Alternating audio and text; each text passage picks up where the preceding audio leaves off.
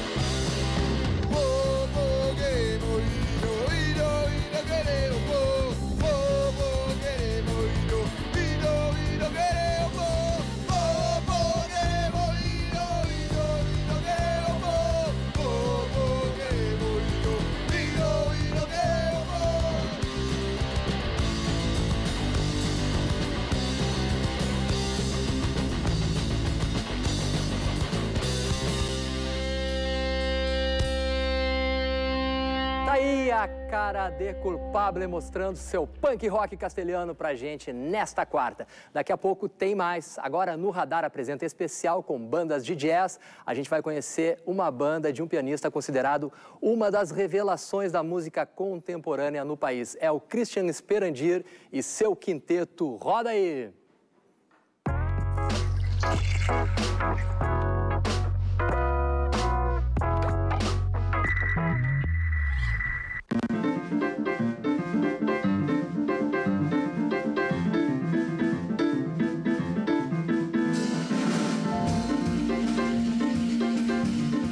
Meu nome é Christian Esperandia e minha relação com a música começa muito cedo, assim, né? Porque minha família é de, é, é de músicos, né? Meu pai é baterista, meu irmão guitarrista.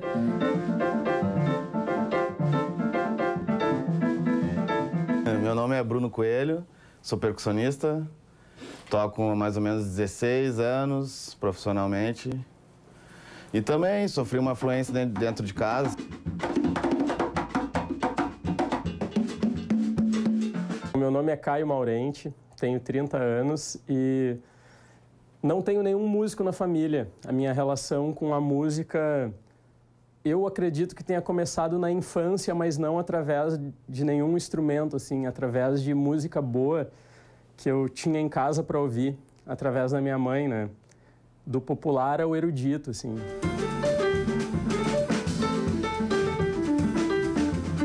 Me chamo Antônio, é, tenho 38 anos, toco guitarra. Uh, comecei a tocar bem cedo, porque sou de família de músico também, assim como o Christian. E sempre tive violão em casa, né? Meu pai é cantor e violonista de música gaúcha.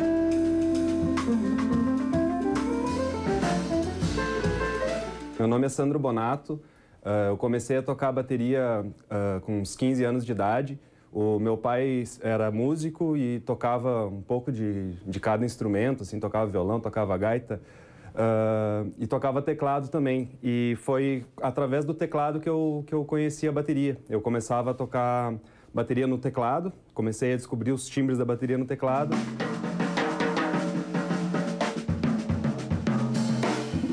A gente começou justamente com o intuito de de, de, de estudar, né? Música, né? Então a gente começou com essa ideia.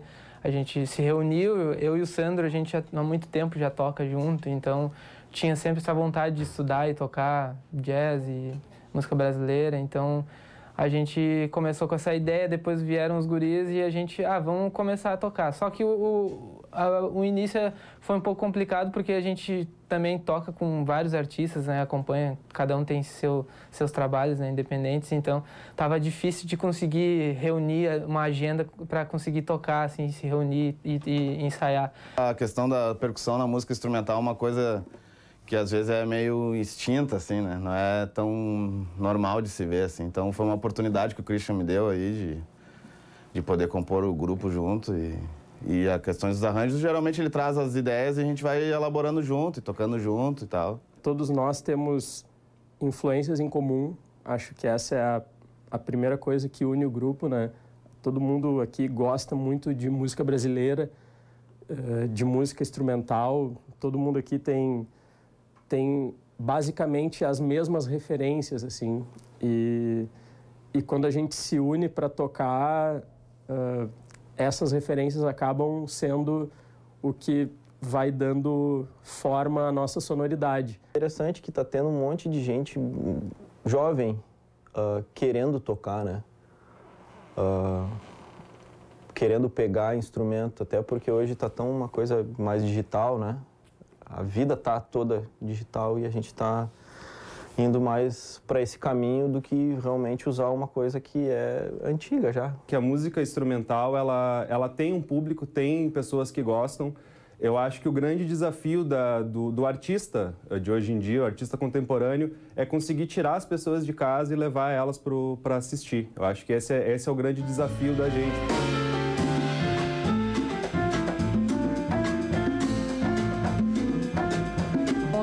Trabalho que é, acaba sendo o, um disco que a gente lançou há pouco, há pouco tempo agora, né? Que é, que é o disco do, do meu, tra, meu primeiro trabalho autoral, né?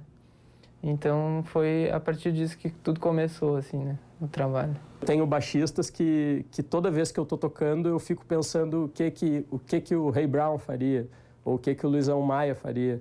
Só que o resultado nunca vai ser igual deles e, é, e e eu acho que isso no grupo vai formando a nossa, cada um do seu jeito vai, vai formando a nossa identidade, assim. Planos agora tem um próximo disco para ser feito, é, que o Christian está trabalhando nos, nos arranjos e tal.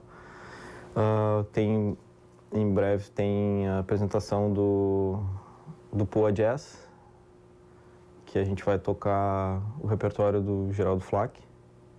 E é nisso que o Christian está trabalhando agora e existe esse plano de gravar também todos esses, esses arranjos né, que vão ser feitos para funcionar com esse grupo aqui. A música instrumental ela precisa dessa presença, ela precisa da pessoa ir lá assistir, porque a pessoa que está assistindo ela também está contribuindo para o som que está sendo feito naquele momento, né? Então acho que há esse público e esse público precisa cada vez mais aparecer presente, né? Se fazer presente para contribuir também com a cena.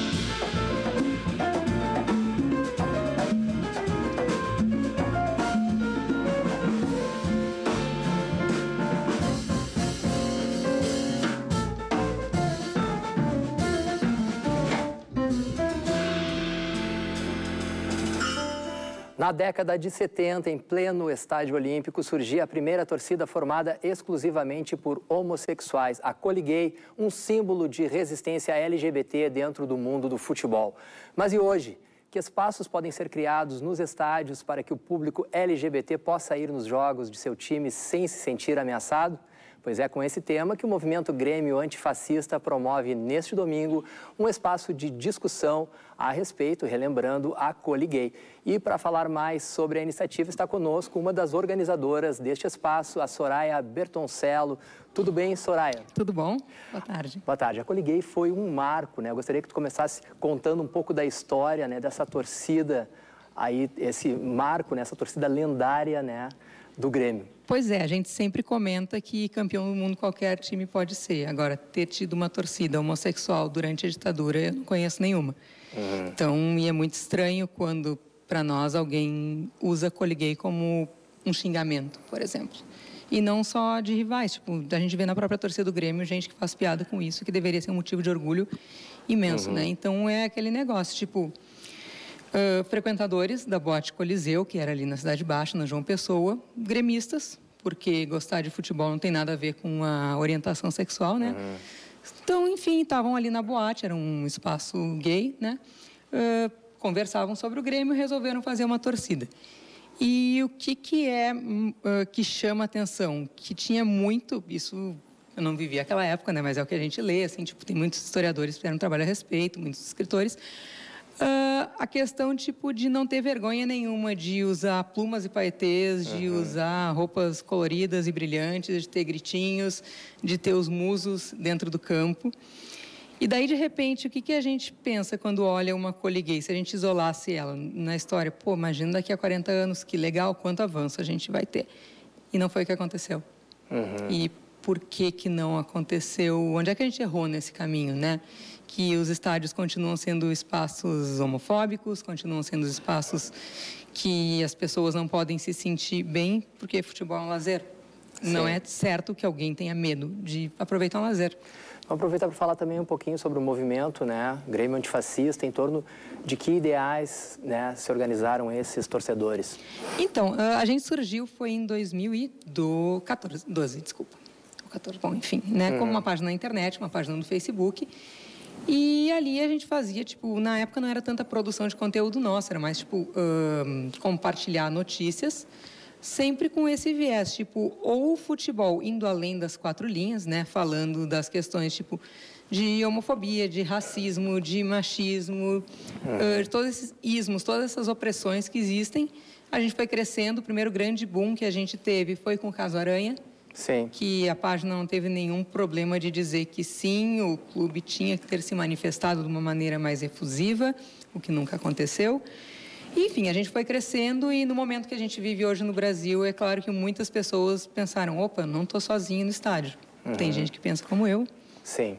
E vocês encontram muita resistência por parte de outros torcedores e também das outras torcidas organizadas? Assim, a gente não se considera uma torcida organizada uhum. porque a gente não tem um lugar fixo no estádio, né? Cada claro. um, tipo, na sua, assim, é mais um movimento. E assim, as resistências que a gente encontra é aquele negócio de internet, é pessoas que não uhum. concordam, às vezes de maneira um pouco mais agressiva, mas uma resistência institucionalizada, assim, uma torcida dizer não gostamos nunca aconteceu. Uhum. A gente tem algum diálogo com integrantes de outras torcidas, eles nos respeitam, talvez não compartilhem todos os ideais que a gente compartilha, ninguém é obrigado. Sim mas não existe, assim, tipo, é só coisa de internet, sabe? Na, no, na cara a cara, as pessoas sempre são bem legais, assim.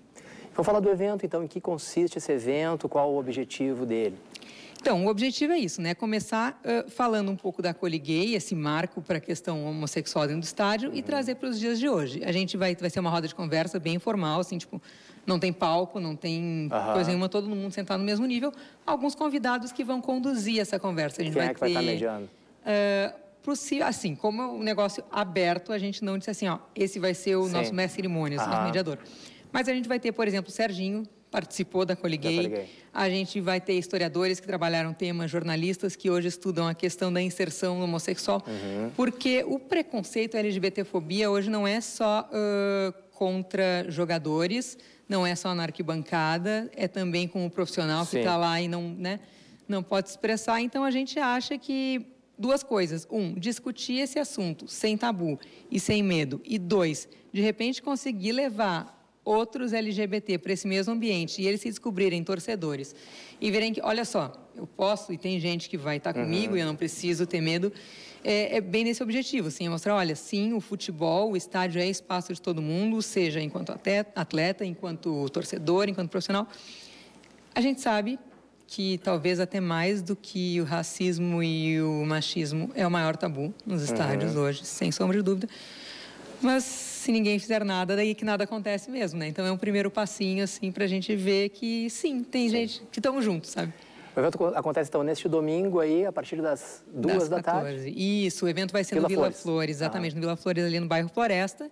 Né? Uh, até a gente vai estar recolhendo donativos para Casa Referência da Mulher Mirabal, uhum. que é uma casa que recolhe mulheres em situações de vulnerabilidade ou de violência. Eles precisam sempre de comida, produtos de limpeza Sim. e higiene pessoal. Esse sábado agora que passou, teve um incêndio ali perto da arena. Algumas famílias perderam tudo. Uhum. Também estão precisando produtos de limpeza, uh, produtos de higiene pessoal e alimentos não perecíveis. Vamos compartilhar essas doações. Então é legal que as pessoas doem bastante. Mesmo. São dois grupos que vão receber. E é totalmente gratuito e aberto. É as pessoas chegarem lá e compartilharem vivências, experiências, medos, angústias, sonhos, desejos. É isso, é tipo, assim, sabe? Dizer, olha, aqui eu vou falar porque eu quero que a minha voz seja escutada no estádio e fora dele. Tá certo, todas as torcidas convidadas aí, né? Com Porque certeza, Não é né? só o Grêmio aí, né? Todas têm que avançar nessa luta aí contra, a, na, contra né, o racismo, contra né, o fascismo, né?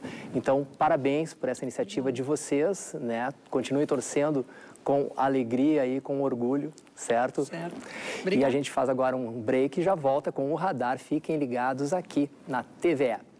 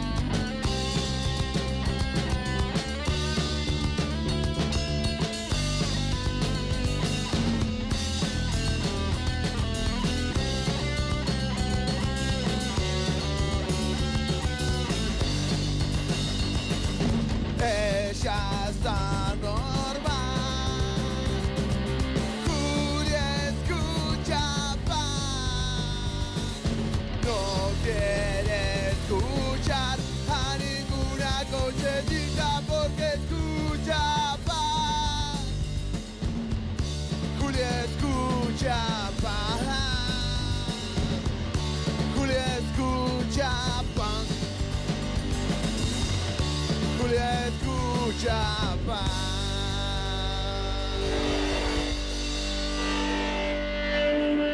Cara de culpável aqui no radar. Vamos conversar um pouquinho com eles. E aí, guris?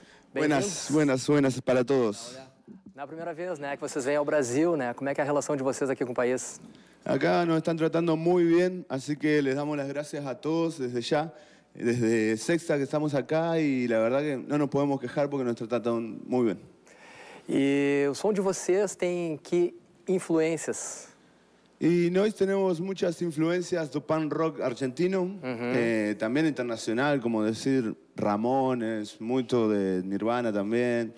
eh, pero más que nada nuestra influencia es más de pan rock eh, Muita argentino. música igual.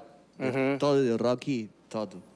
E o baterista aí, esse é brasileiro. Nenê, nenê? Nené, nuestra baterista acá de Brasil, que también no- nos está grabando porque él eh, tiene la sala de estudio de grabación eh, Coisa de Locos, que hoy estuvimos grabando algo para lanzar nuevamente dentro de poco. Estamos presentando el disco Favelas do Sul, grabado el año, el año pasado con Nenê en Coisa de Locos. E onde é que vocês buscaram inspiração para compor né, esse material aí, né? Favelas do Sul, isso aí? Sí, así se Quarto disco de vocês, né, gente? Uhum. Sí.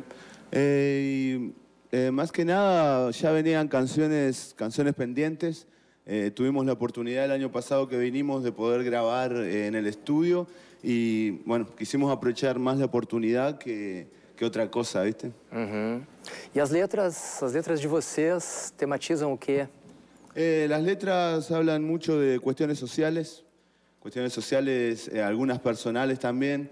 Tienen un toque de un tinte político dentro de todo lo que es las letras, cada cosa, ¿no? Hablan mucho de lo que pasa en los barrios, eh, de lo que pasa también en, en las noches de, de rock, de, de underground y también en las noches de, la rúa, ¿no? Sim. Ulisses, como é que é a reação do público brasileiro e do público argentino no show de vocês? Quais são as, as diferenças aí entre um público e outro? Se é que existe, né? Y diferencias yo veo muy pocas, más allá del el idioma ¿no? y las costumbres de cada lugar. Eh, si hay algo que tienen mucho en común es el acompañamiento, lo que es el underground. Eh, Ajá. la gente acompaña mucho y bueno, y por eso estamos muy agradecidos también. E o processo de composição de vocês, como é que funciona? Vocês compõem juntos? Tem alguém que faz a letra, depois vocês musicam? Eh, no, no, compongo, eu, compongo Tu yo. compõe tudo. sí. Uhum, tá com- certo. la canción completa. Completa. é. Ah, pessoal, e a agenda, como é que tá? Tem muitos shows aqui, né? Porto Muitos Alegre, shows, grande sim, Porto sim. Alegre, aí, região metropolitana. Vamos dar o serviço dos shows aí pro pessoal que... Pode ser? Taca a ficha então. Hoje a gente sai daqui, vamos pro canto do motociclista em Alvorada, às 21 horas. Amanhã, quinta-feira, Signos Pub, na frente da Opinião ali, por Aham. umas 21 também. Sexta-feira, Cachoeirinha, The Cavern. Sábado, Trilha Hub em Sapucaia. E domingo, para finalizar, ensaio de rua em Alvorada também. Después morimos, ¿eh? Abraço Depois gordo, abraço Voltam pra, pra Argentina. Para- voltamos para Argentina. Aham, tá certo. E pro pessoal conhecer mais aí, a cara de Culpable, Insta, Face, tem site da banda aí. Eh, sí, eh, manejamos mucho Facebook, eh, como Cara de Culpable o CDC Cara de Culpable. Eh, también en Instagram, cara punto, punto de culpable, punto de punto de culpable. Eh, después también nos pueden encontrar en YouTube como CDC Cara de Culpable y, y SoundCloud y Bandcamp también. Tá legal, então. Vamos ouvir mais uma com eles aí. Desce a lenha. Por mis amigos, yo y mi amor me siento vacío Día, tarde, noche sin tu amor. Ya no sé qué hacer con este bajón. Porque fui tan tonto, no amor. Porque dejé que me dejes sin tu amor. Solo te pido otra oportunidad. No te olvides de lo que supimos pasar, no, no Uo, uo, uo, uo, uo. La,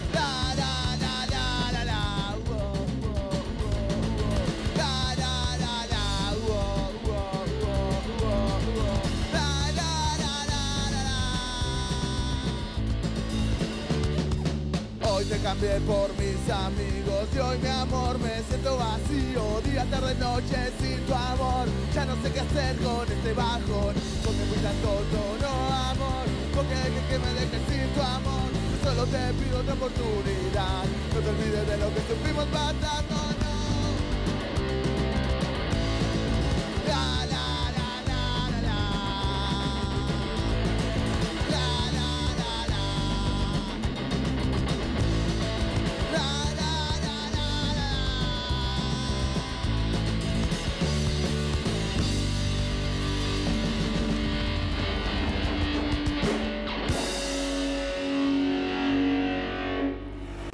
Esse foi o Rock Portenho da Cara de Culpable. Pessoal, muito obrigado aí por obrigado. participarem aqui do Radar. Voltem mais vezes, certo? Obrigados a você. También queremos agradecer a toda la gente de Entre Ríos que está mirando de Bobbio, nuestra ciudad, como también a la gente de Bedita Producciones, Rock John y Coisa de Locos. Sala Muito de obrigado a todos. coisas loucas. Valeu, valeu. E antes de encerrar o radar, a gente presta a nossa homenagem àquele que foi um dos maiores artistas da música brasileira e que há 30 anos nos deixava. Claro que a gente está falando do Raul Seixas, o Raulzito.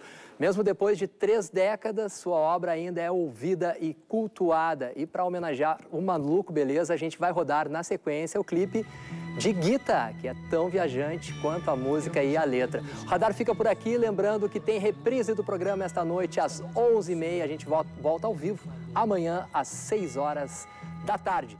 Toca Raul aí. Tchau.